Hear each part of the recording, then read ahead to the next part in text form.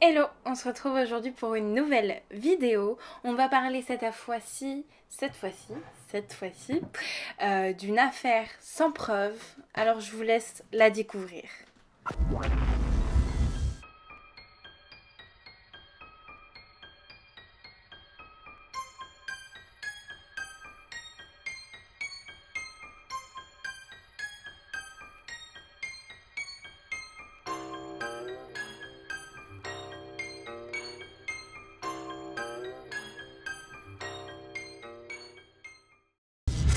Se retrouve donc aujourd'hui pour parler de l'affaire de Guy Lecomte. Peut-être que vous en avez entendu parler, c'est une affaire qui est revenue un petit peu en avant euh, là en avril 2021 parce qu'il y a eu une nouvelle avancée. Elle n'est pas résolue donc euh, je suis désolée mais vous allez rester frustrés sur cette fin de vidéo d'autant plus que comme je vous l'ai dit hein, ça s'appelle une affaire sans preuve donc vous allez voir que c'est vraiment euh, on n'a pas grand chose je trouve ça quand même important d'en parler on en verra on en discutera à la fin. Euh, comme d'habitude je vous donnerai un petit peu mon avis sur cette affaire mes questions aussi. Si jamais il y en a euh, d'entre vous qui ont plus d'informations par rapport à cette affaire ou qui souhaitent donner leur avis, toujours n'hésitez pas à me laisser des commentaires, ça me fait toujours vraiment plaisir. Je vous invite également à vous abonner à la chaîne, si vous le souhaitez, à partager le contenu, à me suivre sur les réseaux parce que je suis quand même assez active. C'est vrai que je le dis pas souvent et je me suis rendu compte qu'il y a quand même une forte partie de mon audience qui ne, qui ne s'abonne pas. Donc voilà, n'hésitez pas à vous abonner, c'est juste en bas, c'est gratuit, on appuie dessus et c'est terminé. Allez, c'est parti pour la vidéo. Guy Lecomte est donc un homme qui n'a pas une vie très très facile. C'est vrai que j'ai l'impression de le dire à chaque vidéo, mais euh, malheureusement, c'est le cas aujourd'hui encore. Il est marié à Isabelle et a un fils qui s'appelle Danaël. Il est chef de vente dans une entreprise spécialisée dans les échafaudages. Voilà. Il est, euh, il est bien dans son métier, il se consacre énormément à sa vie de travail, ce qui ce qui en fait du coup fait que sa vie de famille bat un peu de l'aile et son couple aussi notamment. Il a tendance à pas être trop trop à la maison et du coup au niveau de son couple ça va moyen. C'est vrai qu'avec Isabelle il y a vraiment des hauts et des bas et plus souvent des bacs des hauts. Mais vous allez comprendre ensuite pourquoi aussi. Secrètement, Guy a une très grande attirance envers les hommes. Donc c'est ce qui fait aussi que je pense qu'il se consacre pas forcément à sa famille, mais ça c'est juste un avis personnel. Un drame va frapper la vie de Guy et malheureusement il va perdre son fils à l'âge seulement de 20 ans. Danaël va décider de se jeter sous un train et de se suicider. Sa femme va énormément le reprocher à Guy et l'accuser parce que c'est à cause de son absence, c'est à cause de lui en fait. Elle va lui remettre la faute dessus. Encore une fois, je ne suis pas dedans et je ne juge pas l'opinion de sa femme. Je pense qu'une tristesse comme ça, parfois il faut, faut trouver des moyens en fait de justifier sa tristesse. Sachez que si vous avez des idées noires, que vous vous sentez pas bien dans votre vie, il y a des solutions aussi. Et en barre d'infos, je mettrai quelques liens si jamais voilà vous sentez que ça va pas. Si vous avez besoin de parler, n'hésitez pas euh, bah, à venir me parler éventuellement si vous voulez sur les réseaux ou alors à en parler à vos proches. Voilà, c'est important. Sachez qu'un suicide également ça ne touche pas que la personne qui met fin à ses jours, mais également énormément, énormément son entourage aussi. Et que parfois la solution c'est d'en discuter. Alors je sais que je suis pas à la place de cette personne, mais sachez qu'il y a des solutions. En 2017 va être prononcé le divorce de Guy, c'est à ce moment-là qu'il va décider de faire son coming out, de se libérer. Ça fait déjà 5 ans qu'il côtoie un homme qui s'appelle Daniel et il va décider du coup de vraiment vivre son amour au grand jour. Oui, je suis désolée pour cette affaire, il y a n'y a pas non plus beaucoup de photos, donc euh, je vais vous apporter comme d'habitude des illustrations pour vous mettre un petit peu euh, dans l'ambiance de l'affaire, pour vous permettre de vous plonger dedans, mais j'aurai pas de photos des protagonistes de l'affaire. Daniel et Guy se voyaient déjà en cachette, comme je vous l'ai dit, avant le divorce, enfin avant la prononciation du divorce, mais là ils vont décider de vraiment euh, vivre à 100%, se voir tout le temps, ils sont un week-end chez l'un, un week-end chez l'autre, ils passent toujours voilà, du temps, un maximum de temps ensemble, au téléphone, à se parler tout le temps. Ils sont vraiment très amoureux. C'est une nouvelle vie qui s'offre à Guy puisque maintenant il s'assume. Il va se faire de, des amis, de nouvelles personnes qui partagent ses convictions. Il va également réaliser son rêve d'enfant en achetant un ULM et, en le retapant. Donc là, à l'âge de 54 ans, comme vous pouvez le constater, Guy euh, vit la meilleure partie de sa vie, assumée, libérée euh, et réalisant ses rêves. Comme vous le savez dans mes vidéos, malheureusement, ça ne va pas durer. Le 26 septembre 2019, en fait, David va décider d'appeler la police parce que ça fait maintenant près de 24 heures qu'il n'a pas de nouvelles de son compagnon. Et ça l'inquiète vraiment parce que c'est pas dans son habitude. Ça fait 24 heures qu'il essaye de l'appeler, qu'il essaye de joindre, qu'il essaye d'entrer en contact avec lui, mais rien, nada. Guy habite route de Pissot à Comensac. Désolée si je prononce mal le nom de la ville. La police va donc décider de se rendre sur place après l'appel de David et vers 15h30 ils vont donc toquer chez Guy.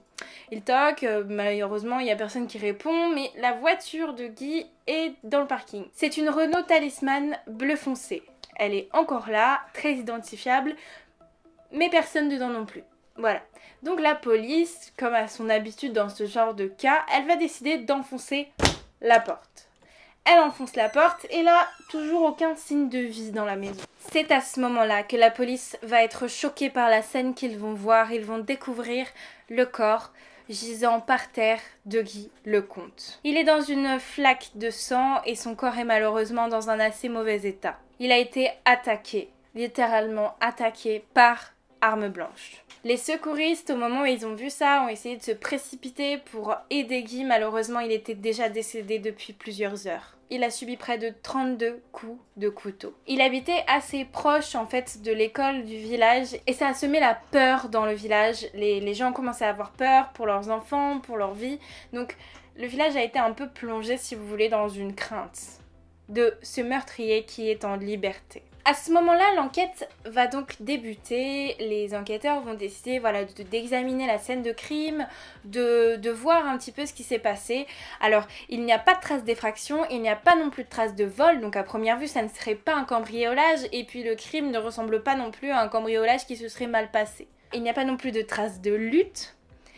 Donc la police, automatiquement, et comme habituellement dans ce genre d'affaires, va décider de se tourner vers David. David qui a un comportement quand même assez bizarre puisque son compagnon répond pas pendant 24 heures et lui, il n'a pas d'autre chose à faire que d'appeler la police plutôt que d'y aller. Effectivement, ça m'a un petit peu mis la puce à l'oreille à moi aussi. Je me suis dit, c'est quand même bizarre, mais apparemment, ils habitent pas vraiment à côté. Donc, euh, c'était vraiment. Enfin, c'était un peu compliqué. C'était plus facile d'envoyer la police là-bas, d'autant plus si c'était passé quelque chose de grave. Après, j'avoue que personnellement, s'il arrive un truc à un de mes proches ou qu'il me répond pas pendant 24 heures, je vais vraiment m'inquiéter et je vais me déplacer. Bon, mais si j'ai 4 heures de route pour aller là-bas, c'est sûr que la police va y arriver plus vite. Mais bon, David est donc convoqué par la police qui s'occupe de l'affaire de son compagnon. La police va lui apprendre que malheureusement Guy est décédé, donc David va être complètement bouleversé, mais la police va quand même continuer son interrogatoire. Effectivement, il dira euh, dans un journal que j'ai pu lire qu'il a été totalement euh, un peu martyrisé par la police, enfin maltraité en tout cas par la police. Ils vont lui poser la même question que ce que je vous ai dit. Effectivement, pourquoi est-ce qu'il ne s'est pas rendu sur place? Il habite le bassin d'Arcachon, mais ça reste assez proche de là où habite Guy? Alors je n'ai pas eu la réponse à cette question, hein. je garde ma question, mais bon effectivement je pense que la, chose la plus simple à se dire c'est que il a dû se dire que la police interviendrait plus rapidement et que si c'était passé quelque chose vraiment de grave, effectivement il fallait appeler la police ou les pompiers. Il sera relâché à 3h du matin, complètement euh, choqué, encore troublé par ce qui s'est passé et après un test ADN qu'ils ont effectué sur David. Ah oui, ils ont également fouillé son téléphone hein, pour voir ce qui s'était passé, pour voir leur échange de textos. Il leur a dit qu'il ne savait rien, qu'il tombait des nues et qu'il était complètement bouleversé par cette affaire. Ce qui je pense est vrai parce que d'après tout l'entourage, toutes les infos que j'ai pu voir, c'était vraiment bah, l'amour fou entre eux, ils s'aimaient passionnément et ils étaient partis pour finir leur jour ensemble. Le 27 avril 2021, un nouveau rebondissement va arriver dans cette affaire. La police va donner une nouvelle information. Le juge d'instruction de Mont-de-Marsan va donner l'ordre à la police de convoquer euh, la population masculine entre 30 euh, et 96 ans, enfin un delta d'âge énorme, pour venir faire un test ADN à Comensac. C'est donc les habitants de Comensac et Transac, le village d'à côté, qui vont être conviés à faire ce test ADN.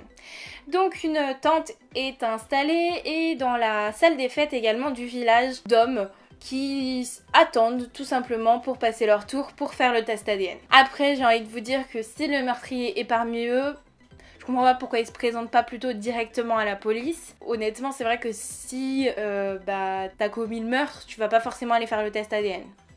Après, si c'est obligatoire, je, je sais pas. Les gendarmes ont également été prélevés ainsi que le maire de la commune. Ce que j'ai trouvé assez bien et qui est un peu à noter, c'est que différents horaires étaient disponibles entre 8h et 22h, c'est-à-dire que tout le monde pouvait s'y présenter. Ça a duré plusieurs jours, je crois que c'était entre le 27 et le 28 avril. 2021, donc en début d'année. Et voilà, c'est tout pour cette affaire. Malheureusement, je n'ai pas plus d'informations. Euh, si vous habitez dans le coin, si vous avez vu quelque chose et que vous habitez à l'endroit où ça s'est passé, n'hésitez vraiment pas à prévenir la police. Rien que de voir une voiture ou, ou de savoir quelque chose, c'est vraiment important. Donc euh, de savoir qu'il y avait une voiture, je sais pas, une voiture verte garée devant euh, pendant deux heures, ou de voir un homme un peu suspect qui s'est baladé à côté, avoir une description physique, un portrait robot, enfin tous les petits indices, même si vous vous en souvenez pas forcément beaucoup, que ça s'est passé il y a deux ans, et eh ben c'est quand même important. Donc voilà, euh, c'était tout. Je suis cette affaire, en fait, elle m'a touchée parce que ça pourrait arriver à n'importe qui. Et honnêtement, si ça arrivait à un de mes proches, j'aimerais vraiment savoir ce qui s'est passé. Et je pense que c'est important d'en parler, de parler de sa vie, de savoir euh, ce qui s'est passé, de savoir comment l'enquête a évolué. Bien sûr, comme je vous l'ai dit, les salvactus, j'essaye toujours de vous tenir au courant si je vois des nouvelles informations sur les enquêtes que j'ai traitées. Parfois, je les vois pas, hein, parfois ça passe à la trappe. Parfois, je les vois euh, trop tard. Donc, enfin, j'essaye quand même, voilà, de vous tenir au courant. Euh, d'autant plus que maintenant j'ai accès aux posts sur YouTube, donc je vous mettrai des posts si jamais je loupe l'info, qu'il est trop tard pour la mettre dans la salle d'actu, bah, je vous la mettrai en commentaire YouTube. Cette affaire, vraiment, elle m'a touchée parce que c'est vrai que ce que je vous dis, ça pourrait arriver à n'importe qui. Ça s'est passé comme ça, d'un coup, ils ont, ils ont pas compris ce qui s'est passé. Enfin, alors, est-ce que l'ex-femme aussi a été interrogée? Je ne sais pas, ça j'ai pas eu ces informations. Est-ce que c'était quelqu'un qui avait quelque chose contre les gays? Euh, Est-ce que c'était quelqu'un qui avait quelque chose contre lui parce qu'il a, qu'il a, je sais pas. Peut-être, euh, peut-être euh, si on pense par exemple, si on va loin, si on pense à l'ex-petite amie ou la petite amie de Danaël à l'époque qui avait 20 ans donc qui aurait pu avoir une copine Enfin voilà, on peut aller loin. Je sais pas si beaucoup de pistes ont été explorées. Je pense qu'en deux ans, quand même, la police a eu le temps de faire pas mal de tours. Je vous invite à me donner vos théories en commentaire. Si vous avez d'autres affaires dont vous souhaitez parler, n'hésitez pas. Je ferai sûrement aussi des vidéos avec plusieurs affaires dedans. Euh, actuellement, j'essaye de pas trop m'éparpiller parce que je suis déjà sur plusieurs projets. J'ai plusieurs choses en cours, donc j'essaye de pas trop m'éparpiller pour pas trop... Euh, faire ce que je fais d'habitude, c'est-à-dire papillonner, voilà. J'espère quand même que cette vidéo vous aura plu, hein. toujours c'est un petit peu compliqué de plaire. Je vous souhaite bon courage pour cette semaine, portez-vous bien, regardez bien derrière vous. Allez, ciao